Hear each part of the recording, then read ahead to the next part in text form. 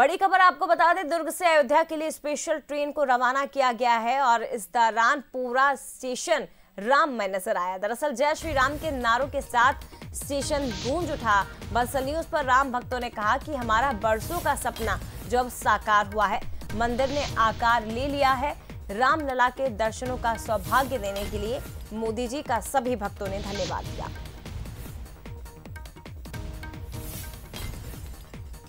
Thank you.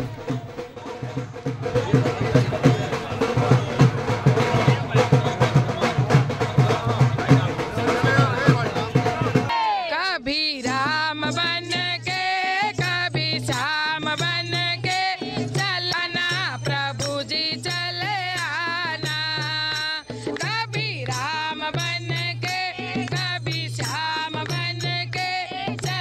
आना प्रभु जी चले आना तुम मोदी रूप में आना तुम मोदी रूप में आना अमित शाह